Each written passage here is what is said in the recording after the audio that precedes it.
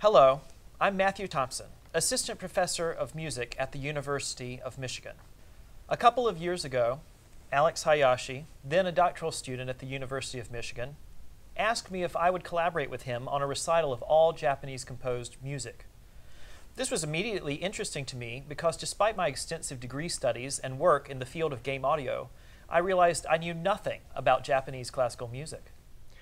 Because I had so much freedom in how to shape my dissertation recitals, I wanted to put together a program of Japanese composed music because the Japanese part of my identity was never able to be a part of my musical side.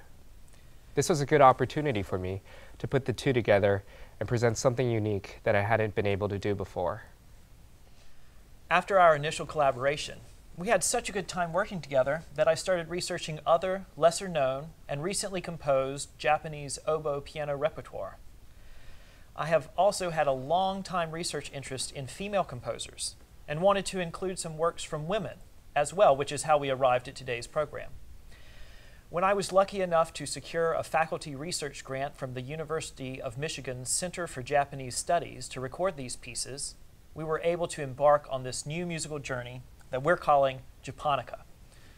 Both Alex and I are very thankful for this chance to share these pieces with everyone who listens and appreciate so much the CJS for this support and opportunity.